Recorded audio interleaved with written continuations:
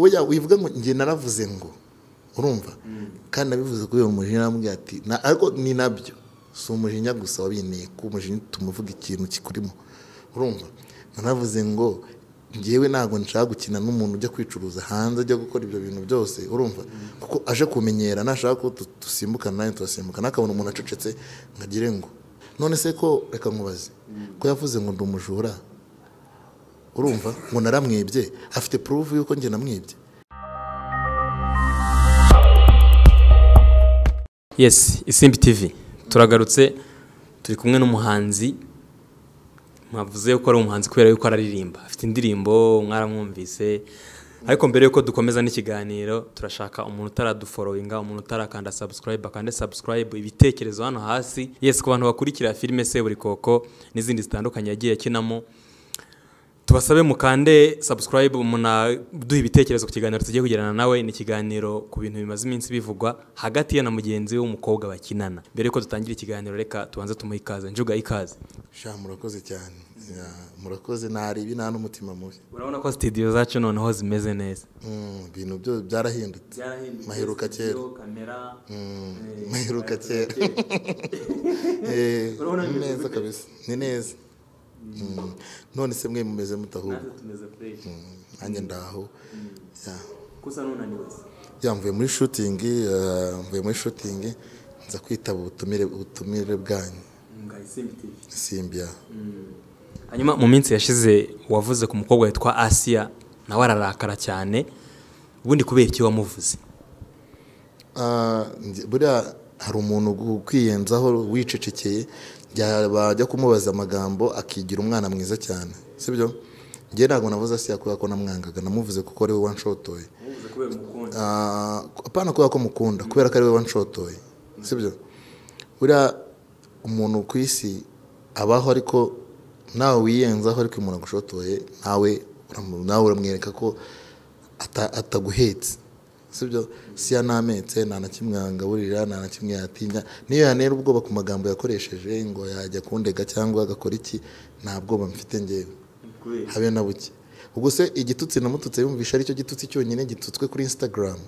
Ubu se mr kagame bamututse ibitutsi bingana gute kuri instagram? Ntabyo muzi ngo amabyanga iki ngo wiringa ibyo bintu wicariye we yumva ko kuba namubwiye ngo ni igicucu ari igitutsi kirenze tu ku buryo nyine ntabwo mutinya.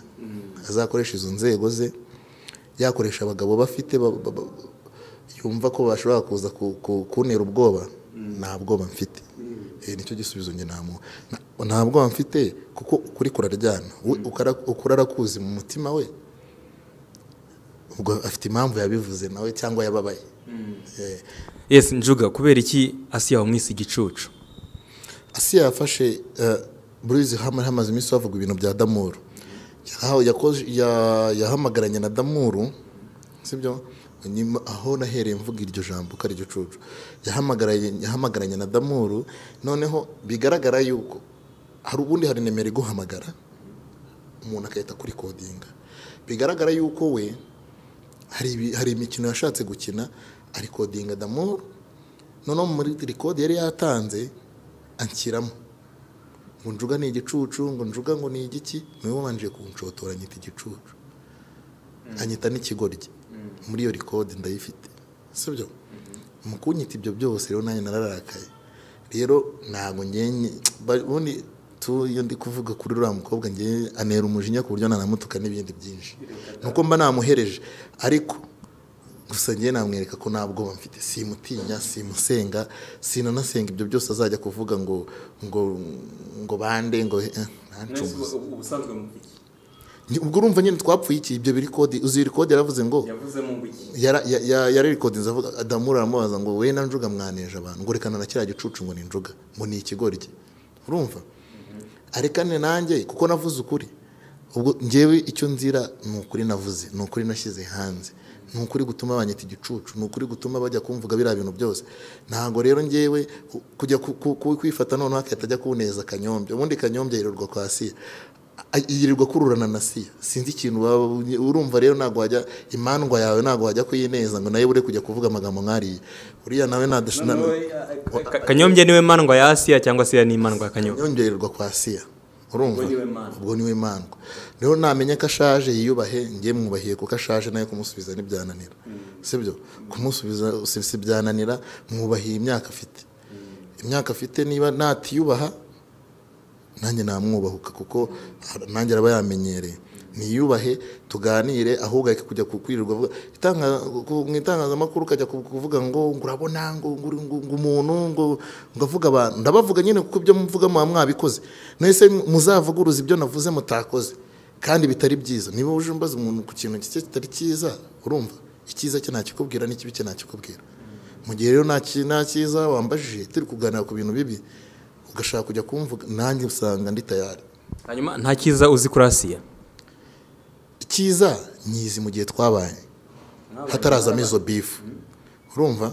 Mu gihe twabanye hatarazamo izo bifu nabonaga ari umwana mwiza ikibi n'icyiza twaragisangiraga. Urumva? Ntazavuge ngo yabaga afite akama nanjye hari igihe nabaga mfite nkamo. Urumva? Yabaye mubi kubera amagambo. Neza ubwa nyisi igicucu nanjye mwita ikindi gicucu kuko ni we wanshotoye kuba mubi kujya ku- ku- kujya ku neza abantu uzira ikode ahantu yaturutse kugira ngo ingereho ntabwo yaturutse kuri asiya nta nubwo yaturutse kuri damuru igaragara ko yari yazengurutse mu bantu benshi ikabona kongeraho.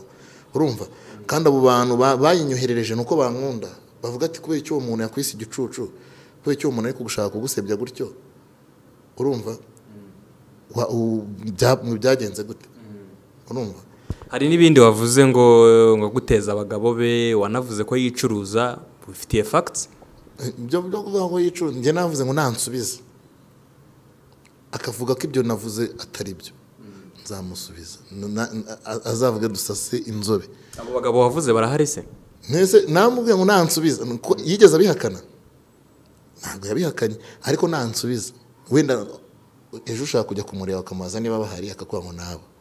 Sibyo avuga ko badahari.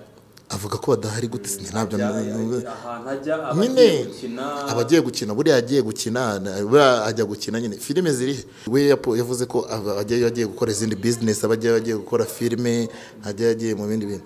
Avuga ko filime ze ziri kuri yutube ushobora kuyibona ukabona ko ari filime yakoreye hanze. Filime wenda nzi ngewe yakoreye nako yo hanze navuga ko we yita iyo hanze niyo yakoreye inaha mu rwanda afatiranye ba kigozi baje abatereka dukora akantu baragakora ako ngako nta kibazo baragakoze karazwi. Ngewe nanjye ndayizi sibyo? Ashobora kuyikubita mu maso ugahita ubona ariyo sibyo?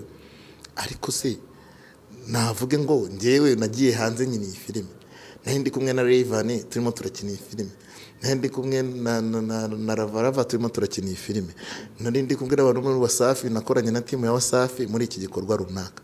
Urumva? Navuga mbese akwereke proof. None wowe uvuga ko aba yagiye gukora iki? Niba atari ibyo ngibyo we yavuze. Oya wivuga ngo njye naravuze ngo. Urumva? Kandi nabivuze kubera umujinya namubwira ati na- ariko ni na byo. Si umujinya gusa wabinteye ko umujinya utuma uvuga ikintu kikurimo. Urumva? Naravuze ngo ngewe ntabwo nshaka gukina n'umuntu ujya kwicuruza hanze ajya gukora ibyo bintu byose urumva? Kuko aje kumenyera nashaka ko dusimbukana nawe turasimbukana akabona umuntu acecetse ngo agire ngo sibyo? Kujya ku neza abantu ntabwo ari byiza. None se none se njuga aramutse akureze nk'uko yabivuze. Akureze akagushinja ko wamubeshyeye ukanamusebya kuko gusebanya ni icyaha. Ufite ibimenyetso bigaragaza ko asiya aba yagiye hanze kwicuruza? Aramutse avuze ngo andeze gute? Akavuga ngo nagiye ujyanye mu rukiko akakuvuga ati uyu muntu yavuze ko njya hanze njye mba nagiye mu kazi ariko we yavuze ko mba nagiye kwicuruza. Wakoraho ibimenyetso. ko agomba kukerekana. Urumva? Kandi yavuze yuko ngo ngo, ndi igicucu. Icyo gicucu rero kiba njye nakoranye. Uretse proof ya mbere ni uko twaravuganaga. Proof ya kabiri hari abo yajyanaga nabo urumva bashobora kumuvugira kubera ko wenda ngo hajemo ibyo bintu nk'ibyo ngibyo cyangwa ashobora kuba yagiye mu nkiko sinzi urwo rukiko wenda. ntabwo umva gusebanya kwa mbere kubaho. Njye numva ko ntabwo namusebeje. Ahubwo we- wavuze ufite ibimenyetso. Niyo niyo naba nta ifoto yonyine nawe ubwira ati genda urebe abo bantu noneho nabo muzabahamagare mubabaze icyo yabaga agiye gukorayo ikimenyetso cya mbere nabo ngabo nakubwiye. Nimumuhamagara agafata telefone akavuga ngo yabaga ajanga cyangwa twamubonaga muri uru rwego. Ubwo nzaba nsinzwe. We- we- icyo kimenyetso cya mbere nuhamagara ati nimero y'uwo muntu babaga bifotozanyije. Ukamubaza ngo uyu muntu muzi gute? Sibyo cyangwa umufata gute? Cyangwa mwahuye mu buhe buryo?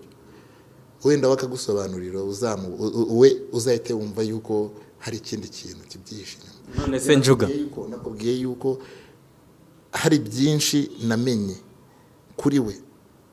Urumva? Byo kwicuruza? Apana kwaze ko wagendeye ku ijambo kwicuruza. Impamvu ari byo mvuga ni uko niyo mpamvu twanaguhamagaye niko muri interview harimo ijambo kwicuruza.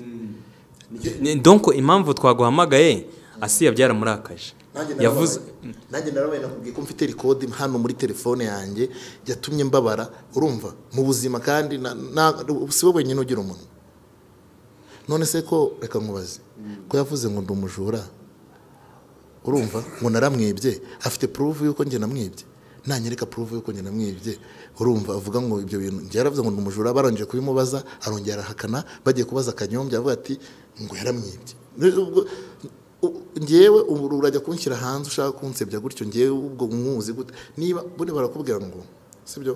Umuntu akubwira ngo wambobo ari umugore cyangwa ari umukobwa igitsina gore wambobo ujye umubwira ngo wandayaho urumva? Ngo njye aramfata akanyura neza ubwo namwibye iki? Uzi abantu bose ngendana nabo ba- ba- bamurenze uriya? Uzi ibyo hari n'ibyo mfite watagira Ko- twe- Mura- urakina ijambo gusehera urarizi? Gusehera. Mm. twe dusehera ibitsina gore nyine turabihigira. Urumva? Twe turabahingira. Uriya namuhigira. Nese atekereza ko ubuzima arimo nari umugabo wese atekereza ko ubuzima arimo uyu munsi ari bwo yahoramo? Uyu mani hari igihe wumva kuri hejuru cyane ejo ukaba dawuni urumva? Rero ikintu cya mbere cyiza ikintu kibaho cya mbere cyiza ni ugutuza. Ubundi hari umuntu wambwiye hagati umuntu akakuvuga kuriya ntukamusubize. Ntunga- njye ariko byabera gute se namusubiza mani rikodi na barayinyohereje abantu barenga bangahe? Urumva? Hari abatipe uriya mutipe wa kasuku urumva? Harimo aba- abatipe ba- bo- ku gihe bagiye banyohereza ya video bati njuga urumva? Iki- ibyo bintu umuntu iyo yabikohereje gutyo yanze no kubipositinga ni uko aba afite ukundi kuntu akuzi ashaka kuvuga ati ibi bintu koko warabikoze? Urumva. None se niba yarakwise umujura ukaba utari umujura kuki byakubabaje?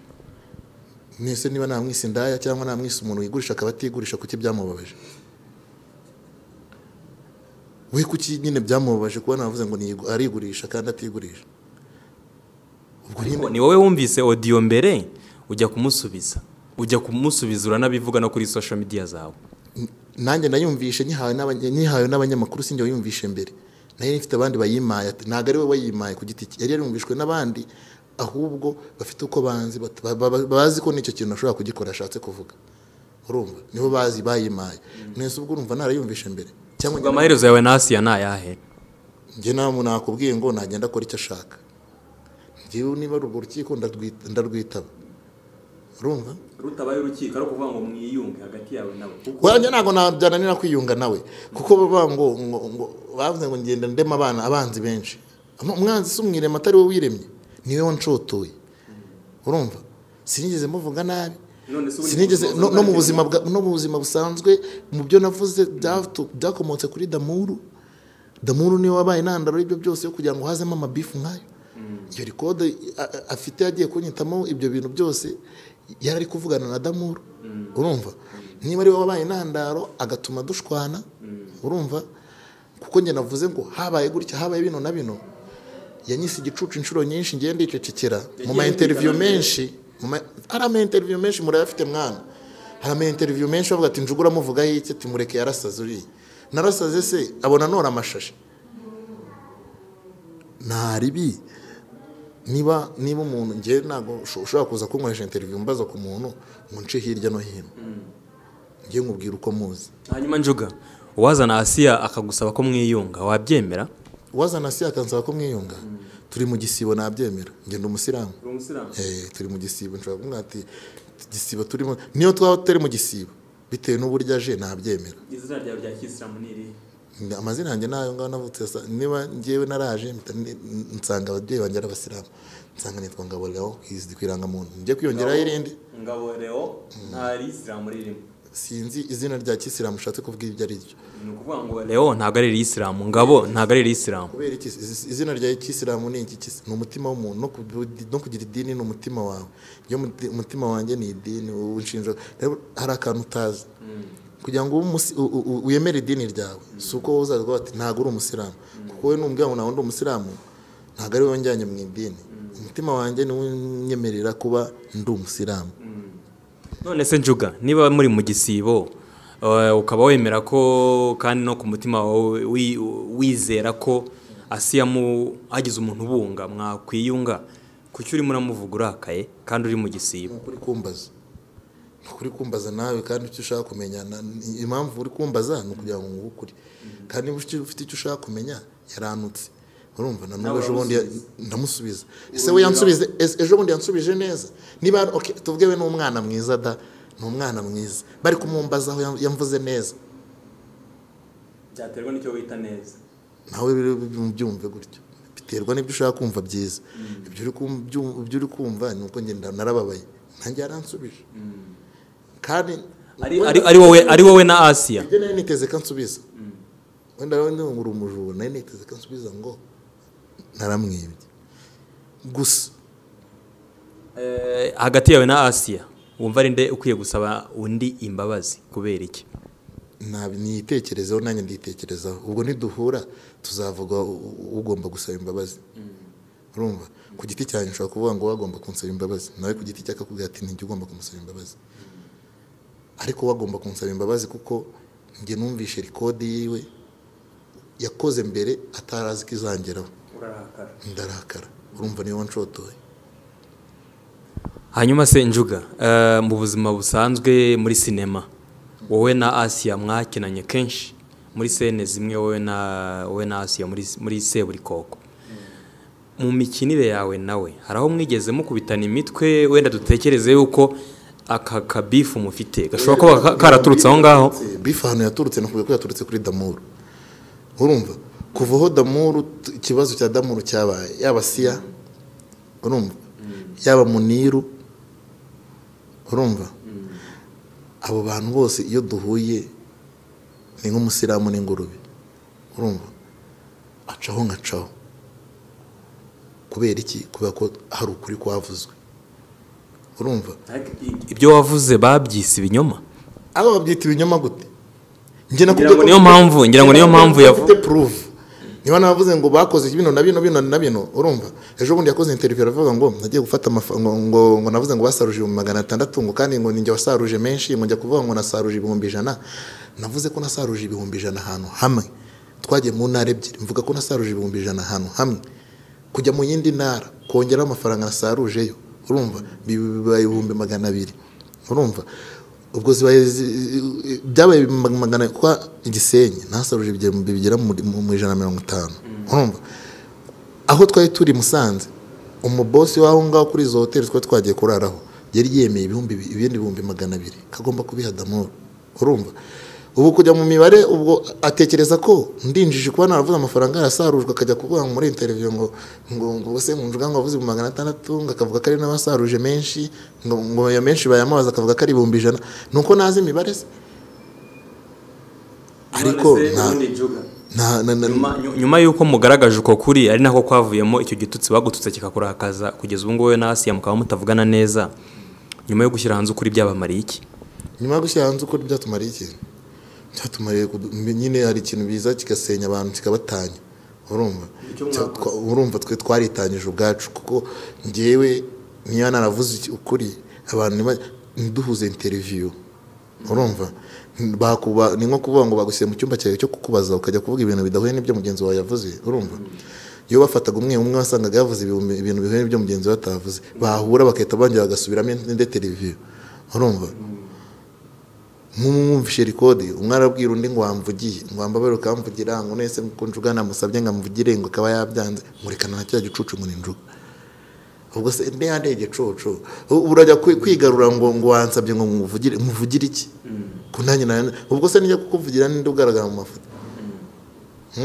Njuga ni ubwa kabiri ugiranye ikibazo n'umukinnyi mukirana by'umwihariko igitsina gore. Ukigiranye na na na no, no, mutoni eh, uwo ni uwa gatatu. Hari damuru hari mutoni hari na asiya mutoni mwagiranye ikibazo mu isango star. Ntabwo twajyanye ikibazo yakijyanye na filipita. Iki nta kibazo nagiranye na mutoni. Ibuka neza yakijyanye na filipita. Ntabwo ari ngewe urabona hari ukuntu umuntu ajyana ikibazo n'umuntu ukabyita. Ngewe nta kibazo nagiranye na mutoni. Ariko yavuze ko ari we byaturutseho. Guturuka kuri ngewe yari afite imisubirize itari fureshi niba namajije ngo urufana nde? Akajya kuvuga umuntu umu- umuntu afana yari kuhitarekeraho njye nahi- nahise mubwira uwo mfana asubiza nabi kandi uwo mfana yakundwaga n'abantu. Icyo nashaka kukubaza njoga kuki urimo uragirana cyane ibibazo n'abasineyasitire bagenzi bawe? Ngende kujyana ariko se hari ahantu oke kuki se batari kongeraho ikibazo? Ngewe hari umuntu ufiteho ikibazo ngo mvuge kuki se ngende kubavuga? Cyangwa muri kuza kubambaza? Ni uko wenda nabavuze. Impamvu nabavuze rero ni uko mwabambajije. Kuko ngewe niba waraje ukambaza ngo damuru bimeze gutya. Nuko byari bimeze gutya. Niba waraje ukambaza ngo sara byagenze gute mutoni? Nkakubwira ati si mwabonye interiviyo mwigeze mubona njye wagiranye ikibazo nawe. Niba waraje uka- niba damuru ari wabaye inkomoko y'ikibazo mukaza kumbaza ngewe nkababwiza ukuri. Ikibazo kigahita kigaruka kuri ngewe ubwo cyangarutseho nyine reka tubavuge. Ni ngewe reka mubwire sinzi ko utazi guhishira nawe ntazamishire sibyo ndi umunyamafuti ntabwo ndi umwera ngo de urumva?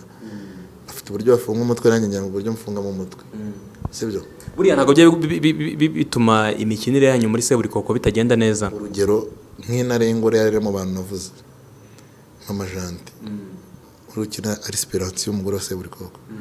Turahura tugakina kandi tugakina seni njye ndi kumwe nawe turasangira ku- ku- ku- kuri tebi imwe. Kuri seti urumva.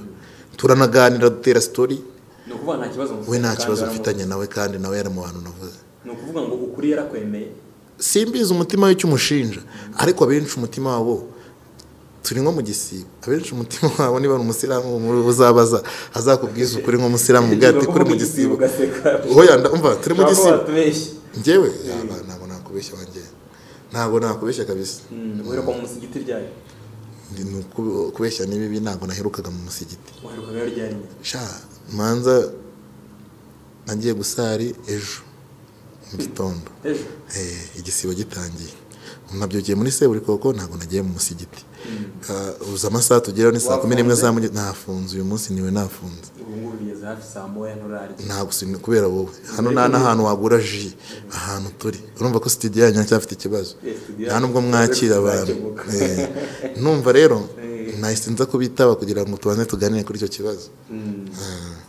Yes njuga Eh, reka dusoze ikiganiro. Hari wenda icyo tutakubajije mu mishinga wari usanzwe ufite wumva washaringa abakunzi bawe ni benshi hano hanze. Ngewe icyo mutambajije kuri ibyo byose se?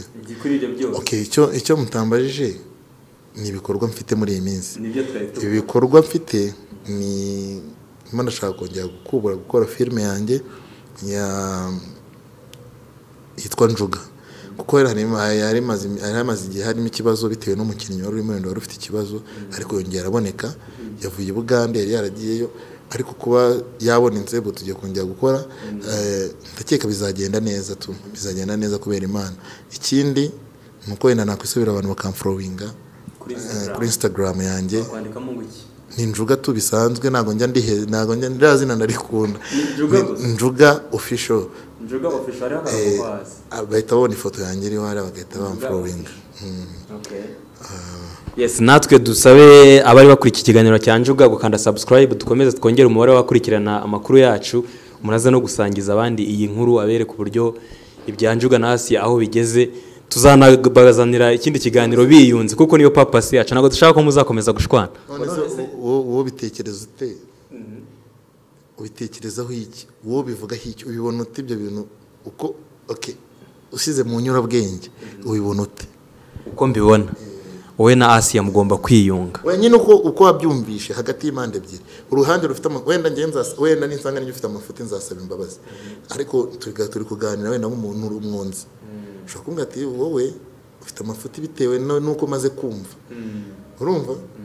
Ntasiya nawe muramwumvishe gutya nawe nakumvishe gutya. Bitewe n'uko maze kumva numvise wara- warakariye asiya cyane uracyafite umujinya. Ugomba kugabanya umujinya ukemera guca bugufi asiya mugahura wowe nawe mugasabana imbabazi. Ntaribi ngewe ni- nimuduhuza tuzahura. nimuduhuza tuzahura ntaribi nzabahuze. Oya wowe nubikora tuzahura. Babitegereze. Ngewe se wagira ngo ndamutinya. Niyo wamuduhuza yazanye nk'abagabo igihumbi b'amabonsa cyangwa ntabwo namutinya. Do n'imbere y'imana. Uzaduhuze urumva? Pfa kutazazanamo akantu ko kuduteranya. Ngo navuga nabi nzamuka ku bizarangira mwiyunze ni na yo maherezo.